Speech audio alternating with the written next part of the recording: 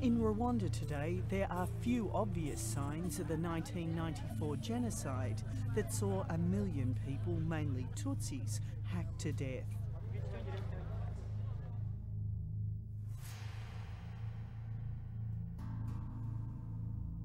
They were killed by government forces, backed by its Hutu militia, the Interahamwe.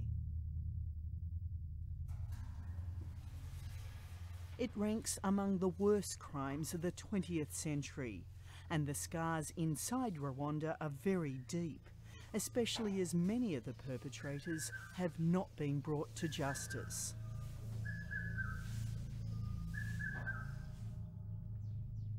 For Kwikwi, the memories of that genocide are still as fresh and as raw 13 years later.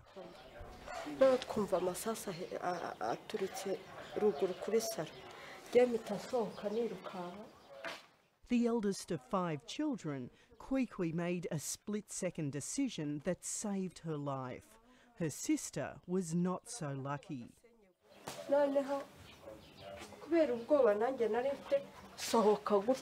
Noneho kubera ubwoba nanjye nari mfite sohoka gutya umusirikare yari ahagaze hano. Ahita amurasa isasu amurasa isasu amanuka kuri esikariye yikubita hasi. Papa nawe yari ari aho Kwikwi survived by mingling with the killers and onlookers, but the price she paid for living was to witness her entire family shot dead. ivete arongera arabyuka arabahamagara. Abahamagara barimo kuzamuka hariya ngo nimuze munyice neza ngo ntabwo mwandangije. Barabanza baraburana. Hanyuma twari twicaye hano twebwe ubwo byari byatuyobeye twabuze n'icyo gukora. Umuntu avuga ngo nibashaka bamwice. Areguka gutya yegutse gutya. Umusirikare umwe araza gutya ahita amukubita isasu rimwe ahita apfa. Her sister Yvette, whose arm had been severed when she was first shot, was the last to die.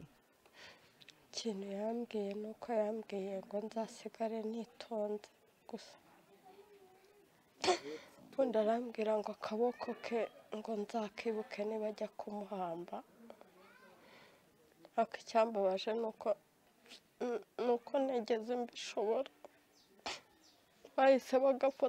ariko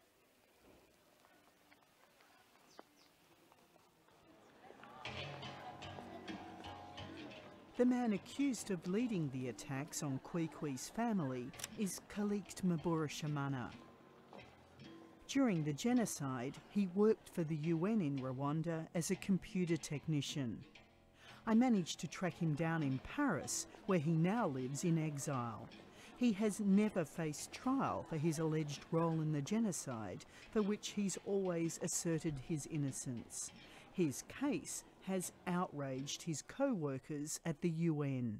Basically, uh, Callixte is, is alleged to have not only allowed uh, UN equipment to be used by the killers, by, by the Interahamwe, not only to have um, um, managed checkpoints, not only to have identified uh, staff, UN staff to be killed, but he is alleged to have actually been involved in the killing of UN staff, either being present with, with uh, a militia or even having himself killed uh, UN staff. Charles Petrie was with the UN in Rwanda during the genocide. He's currently the United Nations most senior representative in Burma. He was a UN official, so he was entrusted with the responsibility of protecting UN staff. As a UN member, he was bound to, to the principles that govern our conduct, which do not cover murder. This is the last checkpoint of the government forces. Gromo Alex also worked for the UN in Rwanda. At the height of the genocide, he would have to drive on this road through the front line as opposing forces shot at each other. And there were always people up here, and then the RPA was on the other side of the valley. And so these guys, when we would drive by, they would shoot, and then the RPA would shoot back at them. When the UN fled, taking its international staff, its local staff were left behind to fend for themselves. But at great personal risk, two weeks into the genocide, Alex came back and stayed on. He knew many of the UN employees killed during the genocide. Their names are on this memorial outside the UNDP office. He remembers well one of his meetings with Callixte Mbarushimana during the genocide. I'll never forget what he told me and how he told me it. He said, we will kill them all. Yeah, there are stories of lists and names being checked off. I think there were probably a large number of UN staff members, certainly, that uh, their whereabouts were facilitated by him. Alex is keen to speak out because of the number of his colleagues murdered and because Mbarushimana has not faced trial. Why is it so important to get Callixte Mabura Shamana? He did something. I know what he did. I knew what he was responsible for. I know people were terrorized by him. And as a human being, I'm obliged to follow through. I'm not doing this because um, of any particular individual. I'm not doing it because um, I hate Mbarushimana. On the other side of the world in New Zealand, policeman turned barrister Tony Gregg also feels compelled to speak out. I don't know Mbarushimana. Um, I don't like what he did. Uh, and it's not because I knew any of the victims. It's, um, it's, it's because he is someone who should have been indicted and he hasn't been. Simple as that. Greg spent a year working with the UN's International Criminal Tribunal for Rwanda, investigating whether Mbarushimana had a case to answer. It was his investigation that resulted in this indictment being drawn up, accusing Mbarushimana of genocide and directing or taking part in the killing of 32 people, including UN staff. Oh, there's very clear evidence. There's a large number, well, a large number. There's at least a dozen witnesses who have seen him personally at, at sites, either supervising killings or actually killing.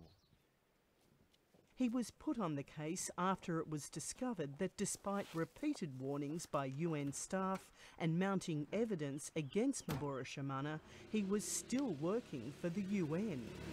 I was surprised that they continued to employ him after twice being told, uh, or, or, sorry, at least twice being told um, what he'd been up to during the war.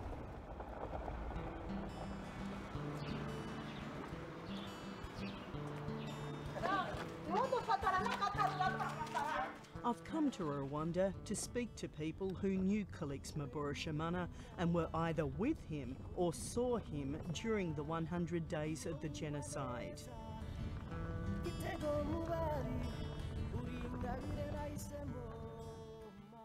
Augustin, not his real name, now works as an electrician. He knew Mbarushimana, they were neighbours. I show him a photo and ask him if he can identify those in it. no akoze agafoto umuntu uzima aba bombi uko ari babiri ndabazi. Who are they? ni bande mugabo bagabo Uyu mugabo yuzuye neza se inde barusha imana uwo uh-huh. yogosha ubwanwa Those who witness crimes committed during the genocide are still at risk of being murdered if they dare speak out. But Augustin agrees to come with me to show me where he says he was a witness to murder. dore aho bishe abantu naho Hmm? naho hehe hano Hari- ari mu muhanda aha muri iki gipangu nicyo wicayemo abo bantu Augustin says Mbarushimana was well known as a local leader and was in charge of a number of roadblocks near the house.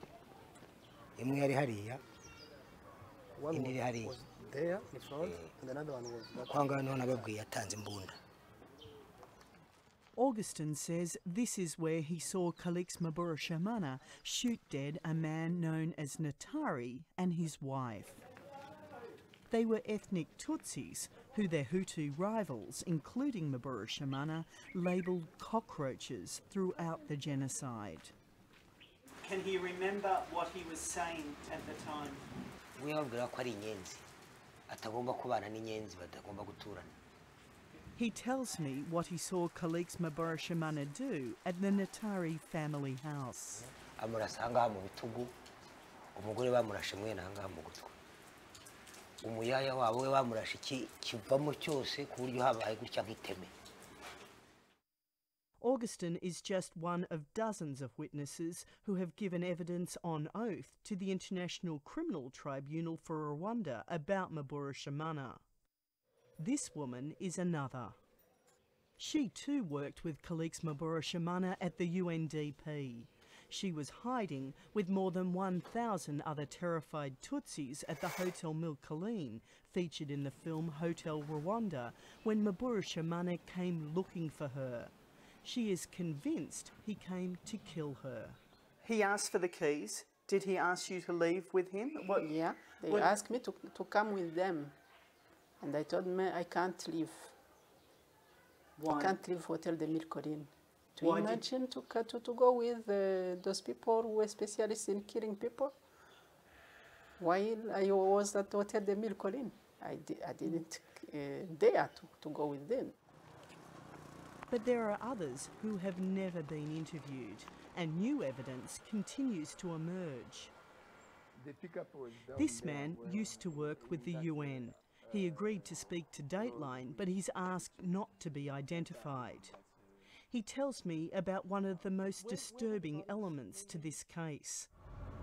Once the international staff had fled, Mbarushimana grabbed the keys to the UN.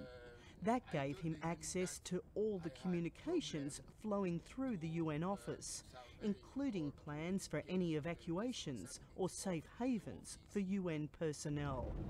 Then he uh, he took the keys, all the keys of the office, and uh, he stay he uh, he stays like uh, uh, officer. Of, He was in charge. yes, he stayed in charge of it. I know that he had certainly had access to the uh, res rep's office because they, he was using the sat phone, giving it uh, giving access to the phone to various uh, government officials. And that's you can, that can be proved. Well, it was at the time. I mean, he, he signed, had the people sign for the utilization, and he signed beside them. But it is the murder of this woman, Florence Ngirumpatse, which shows just how deadly information about hiding places for UN personnel could become in the wrong hands. I mean, that was the plan, to go in with a armored personnel carrier and uh, extricate her and the others that were there. But I think what may have happened is someone learned about it and killed her before we could get there. It was her co worker, who does not want to be identified, who drove here to discover her body and many of the 12 young girls she had been trying to protect. From there, I came here to uh, to be sure that it's true and verify if really uh, she has been killed. Did Callixte ever talk to you about her after she died? Um, when I lived here, I went to the office. A uh, few minutes after, Callixte came. I told him, I told, uh, I, I told him, you know, Florence has been killed with all the family who was with her. He said, oh, yes. That's all. That's all, nothing else. As UN investigators began gathering evidence, the world body belatedly took action. Mbarushimana was arrested and stood down from his job with the UNDP, now in Kosovo. But when it came time for the UN's criminal tribunal to sign the indictment that had been drawn up, it faltered. The tribunal's chief prosecutor, Carla Del Ponte, decided there was not sufficient so called special elements to proceed against him and refused to sign. I think it's crap. What there was sufficient evidence. This is one of the few cases. It may even have been the strongest case against anybody that came through the tribunal of eyewitnesses of him killing and eyewitnesses of him ordering people to kill people. Australian barrister Ken Fleming QC was second in charge at the tribunal when the decision not to prosecute was made. The Rwandan tribunal was really there to prosecute the ringleaders, the big fish, and he didn't fall within that category. Um, to my mind, it wasn't because there wasn't a good case. There was a good case against him. Do you think, in hindsight, though, that a special case should have been made against him, considering that he was a UN employee, that he was accused, that he is accused of murdering UN, UN staff? Yeah, I think that there was sufficient to make an exception for him because, as you say, he was a UN employee and he was um, accused of murdering UN staff. I was also a policeman and I've, I've known large numbers of murders and very, very rarely has there ever been an eyewitness to any of those murders that I've known prosecuted, that I've been involved in investigating or, or, or anything else. Here we've got numbers of people who knew him and who saw him killing and supervising killings and saying what he was doing during those killings. He was wiping out Tutsis. It's as clear cut as that. It's, it is as clear cut as that. And even those on the tribunal agree that justice in this case has not been served. There was a case that he should have answered um, in a court properly constituted. There was sufficient evidence. There was sufficient evidence to make him answer the case. What's particularly galling to survivors in Rwanda is that Mbarushimana's position at the UN enabled him to compromise their entire response to the genocide. Francois Ngarambe is the president of Ibuka, which represents survivors of the genocide. Mbarushimana allegedly used to, to, to try to get informed about any, uh, any, any communication to the UN Secretary General and uh, to, to, to grab those informations and to transmit the information to the uh, army here and to the militia so that they know what the UN plan to do, especially if the UN plan to rescue the people or if the UN plan to intervene or if the UN uh, plan to, to withdraw. It's an allegation the UN refuses to answer directly. Has any investigation ever been done into what information was spread through the office. As, as for these allegations, you're, you're right that there are outstanding allegations against Mr. Mbarushimana, which is why we felt that he should be tried. In the absence of such a trial, I can't really comment but further these, these, on, this on the allegations the because, because these, these are allegations ultimately that have not been proven, and I cannot uh, react to them as if they had been proven. For the past three years, Mbarushimana has lived in Paris as a refugee. After weeks of searching for him with the help of private investigators, and this person, we found nothing, nothing. I managed to track him down through a Hutu rebel website. Mbarushimana agrees to answer these allegations on camera for the first time. He comes with documents which he claims clear him of any wrongdoing. Uh, this is the ordonnance de non-lieu, which is the dismissal uh, order made by uh, the ICTR prosecutor. He's also brought a friend armed with a camera to film our meeting. I explained to you that I've been in Rwanda, that I've been talking to various people there.